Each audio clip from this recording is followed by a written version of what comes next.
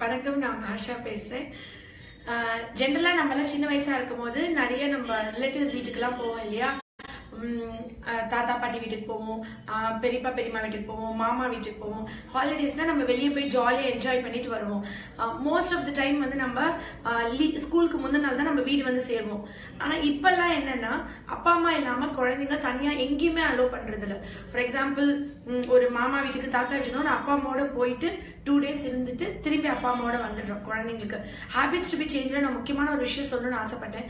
அது என்ன அப்படின்னா கண்டிப்பா இப்ப நாலு நாள் லீவ் வருது. Saturday Sunday Monday Tuesday government holidays குழந்தைங்களுக்கு லைஃப் கொடுக்குற எக்ஸ்பீரியன்ஸ் மாதிரி உலகத்துல எதுவுமே கொடுக்க முடியாது.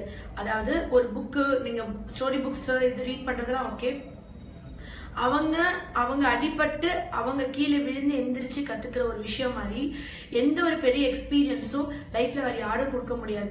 அப்பா அம்மா எப்பயுமே கூட இருந்துட்டு எப்பயுமே பேரண்ட்ஸ் வந்து சப்போர்ட் பண்ணிட்டு கைட் பண்ணிட்டு ஒரு குழந்தை தண்ணி வேணும்னு கேட்கறதுக்கு முன்னாடி தண்ணி கொண்டு வந்து கொடுத்துட்டோம் சாப்பாடு வேணும். ஏன்னா நிறைய பேர் என்ன நினைப்போம்னா ரிலேட்டிவ்ஸ் வீட்டில் விட்டால் பிள்ளைங்களை ஒழுங்காக கவனிச்சிக்க மாட்டாங்க. பிள்ளைங்க ஹர்ட் ஆயிருவாங்க. பிள்ளைங்க அஃபெக்ட் ஆயிடுவாங்க அவங்க பிள்ளைங்க கேட்கறத வாங்கி கொடுக்க மாட்டாங்க. அவங்க பிள்ளைக்கு அவங்க செல்லம் கொடுக்கும்போது நம்ம பிள்ளை பார்த்து ஏங்கி போயிடும் இல்லைன்னு எப்பவுமே எனக்கு சொல்லிக் கொடுக்குற விஷயம் ஒண்ணுதான். எல்லா சூழ்நிலையும் நம்ம குழந்தைங்களோட நம்ம இருக்கவே முடியாது. ஏதோ ஒரு சூழ்நிலை நாளைக்கே நான் இப்போ சப்போஸ் உயிரோடவே இல்லை இந்த உலகத்திலேயே நான் இல்லை அப்படின்னா நான் ஒரு பத்து வயசுல என் குழந்தை விட்டுட்டு போறேனாலும் நான் அவனுக்கு அந்த அஞ்சு வயசு வரைக்கும் சொல்லிக் கொடுக்குற விஷயம் அவனோட லாஸ்ட் வரைக்கும் அவன் ஃபாலோ பண்ணிக்கிற மாதிரி அவன் மனசுல நான் அதை பதிய வச்சிருக்கணும். அந்த விஷயத்தை நான் எப்படி பதிய வைக்க முடியும்? அந்த விஷயத்தை நான் எப்படி அவனுக்கு அந்த இம்பாக்ட் கொண்டு வர முடியும்? அதுக்கு நான் என்ன பண்ணணும் அப்படின்னா I should leave him alone நான் எல்லா தடவையும் ஸ்பூன் ஃபீட் பண்ணிட்டு எல்லா தடவையும் அதாவது என் குழந்தை எந்த கஷ்டமும் படக்கூடாது. நான் பட்ட கஷ்டம் எது எந்த கஷ்டமும் என் குழந்தை படக்கூடாது. என் பிள்ளைக்கு எந்த துன்பமும் வரக்கூடாது. எல்லாத்தையும் நான் பார்த்துக்குவேன். அவனுக்கு முடிஞ்சா நம்ம என்ன பண்றோம்னா ரோடு போட்டு அந்த ரோட்ல கையை பிடிச்சி நடந்து கொண்டு போய் அந்த டெஸ்டினேஷன்ல விட்டுட்டு வர அளவுக்கு நம்ம வந்து ரொம்ப பிள்ளைகளை பேம்பர் பண்றோம் இப்ப. நம்ம அப்படி வளரல ஆக்சுவலி ஆனா நம்ம பிள்ளைங்களை அப்படி வளர்க்குறோம். அப்படி வளர குழந்தைங்க ஒரு சுச்சுவேஷன் ஆஃப் லைஃப்ல அடலசன்ஸ் வரும்போது அவங்க ஃபேஸ் பண்ணும்போது அவங்களுக்கு லைஃப் ஒண்ணுமே தெரிய மாட்டேங்குது. தாத்தா வீடு சித்தப்பா வீடு மாமா வீடு பாட்டி வீடுன்னு விடணும். ஒரு விஷயம் அவன் ஆசைப்பட்டிருப்பான். அவன் வந்துட்டு ஒரு சாக்லேட் வாங்கி சாப்பிடணும் ஆசைப்பட்டிருப்பான். அதை அவன் சித்தப்பாட்ட கேட்க முடியாம இருந்திருக்கும். அவங்க சித்தப்பா அவங்க குழந்தைங்களுக்கு செல்லம் கொடுத்துருப்பாங்க. அந்த செல்லம் வந்து நம்ம அப்பா அம்மா இல்லையே அவன் ஏங்கியிருப்பான். அவன் துன்பப்பட்டிருப்பான் கஷ்டப்பட்டிருப்பான். அவன் அந்த விளையாடும் போது சித்தப்பா பசங்களோட சண்டை வந்திருக்கும். அப்போ காப்பாற்ற நம்ம இருந்திருக்க மாட்டோம். அவங்க அடிச்சிருப்பாங்க. இவன் ஒரு அடி வாங்கியிருப்பான் அழுதிருப்பான்.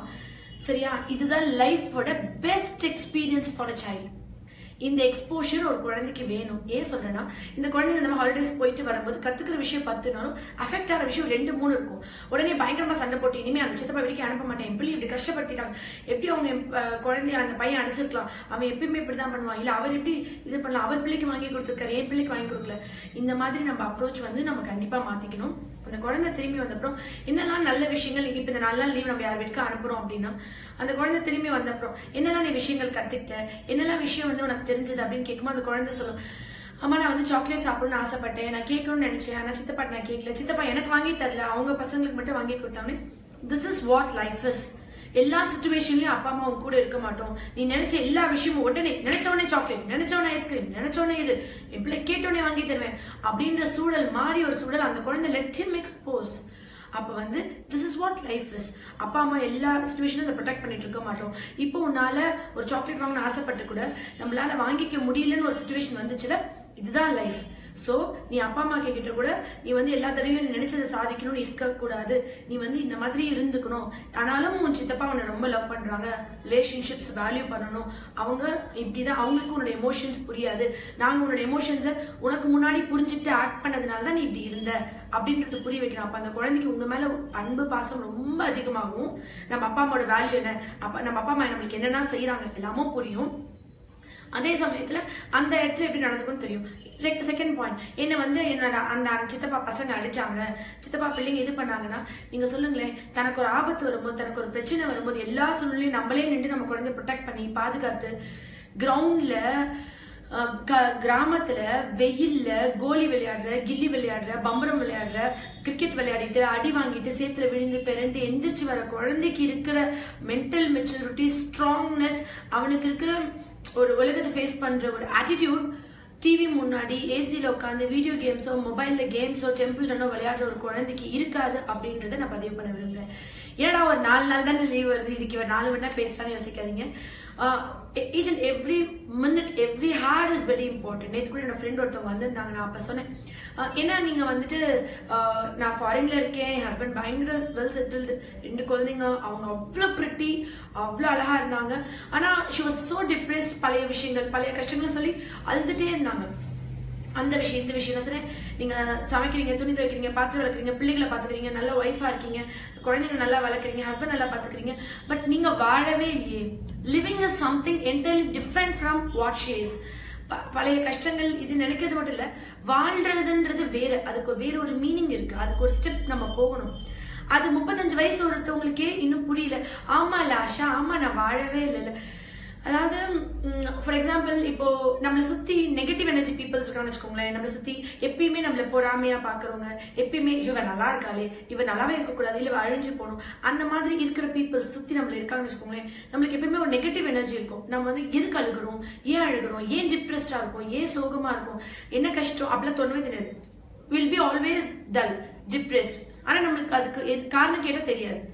என்ன விஷயம் கேட்டால் தெரியாது. Because we are full of negative energy peoples அதே இந்த மாதிரி நூறு ஃப்ரெண்ட்ஸ்க்கு நடுவில் இருக்கிறதுக்கு பதிலாக ஒரு பாசிட்டிவ் எனர்ஜி இருக்கிற ஒரே ஒரு ஃப்ரெண்டு பக்கத்தில் இருக்கிறது இட்ஸ் ஃபைன் நம்ம அவ்வளோ இருக்கணும்னு தேவையில்லை. அந்த ஒரு பாசிட்டிவ் எனர்ஜி நான் அப்போ சொன்னேன் அவங்க ஃபர்ஸ்ட் விசிட் வந்தப்ப நான் சொன்னேன் எப்பயுமே always use to rub my passion நான் அப்போ அந்த மேம் பேசுறேன் நத்திங் டு வரி மேம் நான் இப்படி கையை தேய்ச்சிட்டு அதே மாதிரி நான் இப்படி காலை இப்படி தேய்ப்பேன்.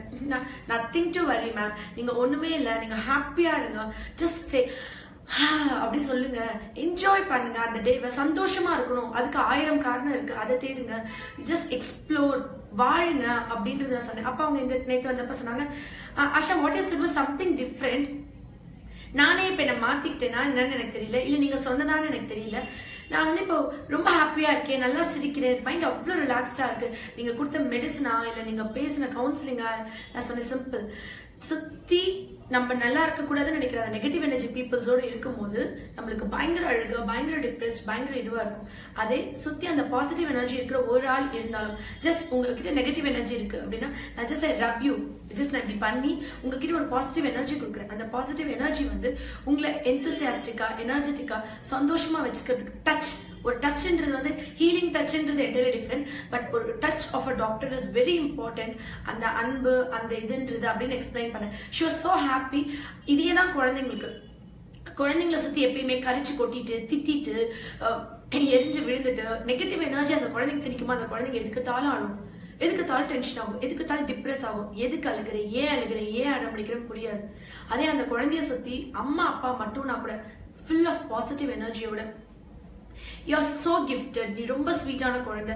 You enjoy you born genius நீ வந்து உலகத்திலேயே ஒரு சிறந்த குழந்தை. அந்த மாதிரி பாசிட்டிவ் எனர்ஜி அந்த குழந்தைக்கு கொடுத்துட்டே இருக்கும்போது அந்த குழந்தைக்குள்ள ஒரு பயங்கரமான உத்வேகம் ஒரு பயங்கரமான ஒரு பூரிப்பு ஒரு ஆனந்தம் இருக்கும். அது அது வந்து ஆயிரம் பேட்டரிக்கு சமம்னு வச்சுக்கோங்களேன். அவ்வளோ ஒரு எனர்ஜெட்டிக்காக அந்த குழந்தைங்க பாசிட்டிவ் எனர்ஜியோடு இருக்கும். அப்படி இருக்கிற ஒரு குழந்தைக்கு நான் எப்பயுமே அஸ்வின்ட்டு சொல்வேன் எல்லா சூழ்நிலையிலையும் எல்லா சந்தர்ப்பத்திலையும் அப்பா அம்மாவும் கூட இருக்கணும்னே தேவையில்லை அஸ்வின். எல்லா தடவையும் பக்கத்துலேயே இருந்து அஸ்வின் யூ கேன் டூ உன்னால முடியும். நீ வாழ்க்கையில் ஜெயிச்சிருவேன் நீ சூப்பராக வந்துடுவ நீ பெரிய ஆள் ஆயிடுவ அப்படின்னு நான் சொல்லிட்டே இருந்து நீ பெரிய ஆள் ஆகிறது ஒரு பெரிய விஷயம் இல்லை. ஒரு நாள் நான் இல்லைன்னா உனக்கு அது சொல்ல ஒரு ஆள் இருக்க மாட்டாங்க. பி செல்ஃப் மோட்டிவேட்டட் ஆல்வேஸ் ஒரு சுயம்புவாக இருக்கணும். நீ உன்னையே உன்னையே நீ தேடு. உன்னையே நீ எக்ஸ்ப்ளோர் பண்ணு. எப்பயுமே நீ செல்ஃப் மோட்டிவேட்டடாக இரு நீ தான் உன்னைய கண்டுபிடிக்கணும். நீ தான் உன்னைய வெளியே கொண்டு வரணும். நான் வந்துட்டு இருந்து உனக்கு இந்த டேலண்ட் ஒன்று இதெல்லாம் வந்துட்டு over until five to seven eight years after that always நீ வந்துட்டு நெவர் எக்ஸ்பெக்ட் எக்ஸ்டர்னல் ஃபோர்ஸ் வெளியிலிருந்து ஒருத்தவங்க உன்னை வந்து தூண்டி உற்சாகம் பண்ணி படி படி படின்னு சொல்றதோ சரி இல்ல எழுதுன்னு சொல்றதோ சரி என்ன திங் என்ன ஆக்டிவிட்டி வீடு க்ளீன் பண்ண இல்ல வேலை பாரு இல்ல துணி துவைக்கணும் கோலம் போடணும் பொம்பளை பிள்ளைங்க நான் வீடு கூட்டணும் இந்த மாதிரி சின்ன ஹேபிட்ல இருந்து பெரிய ஹேபிட் வரைக்கும் இன்னொரு ஆள் சொல்லி அந்த குழந்தை செய்யுதுன்னா பத்து நாள் செய்யும் பதினோராவது நாள் செய்ய மாட்டாங்க. அந்த குழந்தைக்குள்ள அந்த ஃபயர் கொண்டு வரணும். அது ஒவ்வொரு பேரண்ட்டும் பண்ணும். That is within ten years பத்து வயசுக்குள்ள அந்த குழந்தைக்கு லைஃப்க்கான கம்ப்ளீட் விஷயத்தை நம்ம டீச் பண்ணி முடிக்கணும். ஃபாரின் கண்ட்ரீஸ்லாம் பாருங்களேன். பதினெட்டு வயசு வரைக்கும் நான் அப்பா அம்மா கூட இருக்கும். பதினெட்டு வயசுக்கு மேலே எப்படிப்பட்ட குழந்தை அதில் எவ்வளோ ரிச்சான ஃபேமிலிஸ்னாலும் அவங்களை தனியாக விட்டுருவாங்க. The should be independent this world அப்படின்ட்டு நம்ம நிறைய கேள்விப்பட்டிருப்போம்ல. இதுக்கான ஒரு விஷயம் நம்ம பண்ணுறதுல நம்ம என்ன பண்ணோம்னா அந்த குழந்தைக்கு கல்யாணம் ஆகி அந்த குழந்தைக்கு ஒரு குழந்தை வந்த அப்புறம் கூட அந்த குழந்தைக்கு அம்மாவே ஸ்பூன் ஃபீட் பண்ணிட்டு இருக்கிறது வந்து இப்போ கல்ச்சர் இப்போ இந்தியன் கல்ச்சர் தமிழ்நாடோட கல்ச்சர் இப்போ எப்படி இருக்கு? பட் நம்ம தாத்தா பாட்டி எல்லாம் கூட எங்க மாமாலாம் கூட சொல்லுவாங்க ஒரு ஸ்கூலுக்கு போறதுக்கு கூட ரெண்டு ரூபா பஸ்ஸுக்கு வேணும்னா ஏர் ஓட்டினாதான் அந்த ரெண்டு ரூபா கொடுப்பாங்க எங்க தாத்தா அப்படின்னு சொல்லிட்டு. அது அது உழைப்போட இது வேல்யூஸ் அது மணியோட வேல்யூஸ் எல்லாமே அது அவங்களுக்கு அது தெரிஞ்சிடும் நான் நெக்ஸ்ட் நெக்ஸ்ட் வீடியோல இதை பத்தி நிறைய சொல்றேன். நல்ல tips of the day video கண்டிப்பா போட்டுருக்கேன். நன்றி.